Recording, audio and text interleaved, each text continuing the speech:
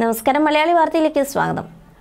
തൃശൂർ ഇത്തവണ പിടിക്കുമെന്ന പ്രതീക്ഷയിൽ തന്നെയാണ് B J P. Party A class മണ്ഡലമായി കണക്കാക്കിയിട്ടുള്ള ഇവിടെ സുരേഷ് ഗോപിയിലൂടെ അട്ടിമറി വിജയമാണ് നേതൃത്വം സ്വപ്നം കാണുന്നത്. നടന്റെ സ്വീകാര്യതയും ജനപ്രീതിയുമെല്ലാം വേട്ടയായി മാറുമെന്ന് പാർട്ടി കരുതുകയാണ്. കഴിഞ്ഞ ലോക്സഭാ തെരഞ്ഞെടുപ്പിൽ ബി ജെ പിക്ക് വേണ്ടി സുരേഷ് ഗോപി നേടിയ വോട്ടുകളും ബി ജെ പിയുടെ ആത്മവിശ്വാസം ഉയർത്തുന്നുണ്ട്. നിയമസഭാ തെരഞ്ഞെടുപ്പിലും ബി ജെ പിയുടെ വോട്ട് ഉയർത്താൻ സുരേഷ് ഗോപിക്ക് സാധിച്ചിരുന്നു. സ്ഥാനാർത്ഥി പ്രഖ്യാപനത്തിന് പിന്നാലെ എന്ത് വില കൊടുത്തും മണ്ഡലം പിടിക്കാനുള്ള സർവസന്നാഹങ്ങളുമായി ബി ജെ പിയും സുരേഷ് ഗോപിയും മണ്ഡലത്തിൽ പ്രചാരണത്തിൽ സജീവമായി കഴിഞ്ഞിരിക്കുകയാണ്.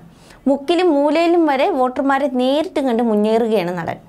ലൂർദ് കത്തീഡ്രലിലെ മാതാവിനെ എൻ ഡി എ സ്ഥാനാർത്ഥി സുരേഷ് ഗോപി സമർപ്പിച്ച കിരീടം തെരഞ്ഞെടുപ്പ് ചൂടുകൂട്ടുന്ന ഒരു വിഷയമായി മാറിയതിന് പിന്നാലെ ഇപ്പോഴത്തെ സുരേഷ് ഗോപി മകൾക്ക് കൊടുത്ത പതിമൂന്ന് കോടിയുടെ റോൾസ് റോയ്സും ചർച്ചയാകുകയാണ്. പ്രചാരണത്തിനിടയിലുള്ള സുരേഷ് ഗോപിയുടെ ഒരു വീഡിയോ ആണ് ഇപ്പോൾ വൈറലാകുന്നത്. കല്യാൺ ടെക്സ്റ്റൈൽസ് ഉടമ പട്ടാഭിരാമൻ ഉൾപ്പെടെയുള്ളവരോട് വോട്ട് അഭ്യർത്ഥിക്കുന്നതിനിടയിൽ തന്റെ കയ്യിലുള്ള കാറിന്റെ വിലയെക്കുറിച്ചും മകളുടെ വിവാഹത്തിന് റോൾസ് റോയ്സ് കാറുമായി ബന്ധപ്പെട്ട ഉയർന്ന വിവാദങ്ങളെക്കുറിച്ചെല്ലാം സുരേഷ് ഗോപി പറയുകയാണ്. വലിയൊരു സ്ഥാനത്തേക്ക് കയറാൻ പോകുമ്പോൾ കുറച്ച് വെയിലൊക്കെ കൊള്ളണം കേട്ടോ എന്ന് പട്ടാഭിരാമൻ സുരേഷ് ഗോപിയോട് പറയുകയായിരുന്നു. ഇതിന് ഞങ്ങൾ സിനിമാക്കാർ എല്ലാവരും വളരെയധികം വെയിൽ കൊള്ളുന്നവരാണെന്നാണ് സുരേഷ് ഗോപി പറഞ്ഞത്. നിങ്ങൾക്ക് കിട്ടുന്ന വരുമാനം കിട്ടിയാൽ ഞങ്ങൾ ഫുൾ ടൈം വെയിൽ കൊള്ളാം എന്നായിരുന്നു ഇതിനോട് പട്ടാഭിരാവിന്റെ മറുപടി. ഇതോടെ തന്റെ കയ്യിലുള്ള ഏറ്റവും വില കൂടിയ കാറിന്റെ വില ഒരു കോടി പത്ത് ലക്ഷമാണെന്ന് സ്വാമിയുടെ കാറിന് എത്ര വിലയുണ്ടെന്നും സുരേഷ് ഗോപി ചോദിക്കുന്നു. മാത്രമല്ല തന്റെ മകളുടെ വിവാഹത്തിന് റോൾസ് റോയ്സ് ഉപയോഗിച്ചതിനെക്കുറിച്ചും സുരേഷ് ഗോപി പറഞ്ഞു. എന്റെ മകളോ ഞാനോ ആഗ്രഹിച്ചതല്ല.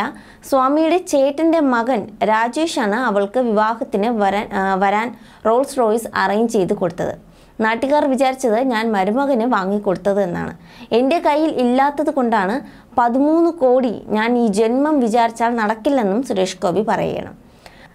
അതേസമയം ലോർഡ് കത്രഡിലെ മാതാവിന് സുരേഷ് ഗോപി സമർപ്പിച്ച കിരീടം നിലത്ത് വീണതെന്നായിരുന്നു ചില രാഷ്ട്രീയ കേന്ദ്രങ്ങൾ സമൂഹ മാധ്യമങ്ങളിൽ ഇതിനു മുമ്പ് വിവാദമാക്കിയത്. കിരീടം സ്വർണമല്ല എന്നതാണ് ഇപ്പോഴത്തെ ഒരു പ്രചാരണം. പള്ളി അധികൃതർ തന്നെ ഇത് തള്ളിക്കളഞ്ഞെങ്കിലും ആരോപണം അവസാനിച്ചിട്ടില്ല. കിരീടം സമർപ്പിച്ചത് ആചാരപ്രകാരമാണെന്നും തന്റെ ത്രാണിക്കനുസരിച്ചാണെന്നും പറഞ്ഞ സുരേഷ് ഗോപി ജയിച്ചാൽ പത്ത് ലക്ഷം രൂപയുടെ സ്വർണം മാതാവിന് നൽകുമെന്നും പറയും പറഞ്ഞിരുന്നു.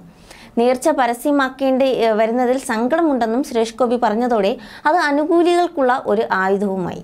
വർഗീയ മുതലെടുപ്പിനുള്ള ശ്രമം പിന്നിലുണ്ടെന്ന കൂടുതൽ രൂക്ഷമായ പ്രതികരണവും സുരേഷ് ഗോപി നടത്തി. സ്വർണം ഉരച്ചു നോക്കലല്ല കരുവന്നൂരിലെ പണം തിരികെ കൊടുക്കലാണ് വേണ്ടതെന്ന വിമർശനം അദ്ദേഹം ഉയർത്തി. ജനുവരി പതിനഞ്ചിനാണ് കുടുംബത്തോടൊപ്പം എത്തിയുള്ള കിരീട സമർപ്പണം. അഞ്ച് പവൻ സ്വർണം പൂശിയ കിരീടമാണ് ഇതെന്നും അന്ന് തന്നെ വെളിപ്പെടുത്തലുണ്ടായിരുന്നു. പൂർണമായും സ്വർണത്തിൽ നിർമ്മിച്ചതെന്നും തെറ്റിദ്ധരിപ്പിച്ചെന്ന രീതിയിലാണ് കോൺഗ്രസ് ഇടതുപക്ഷ അനുകൂലികൾ സ്ഥാപിക്കാൻ ശ്രമിച്ചത്.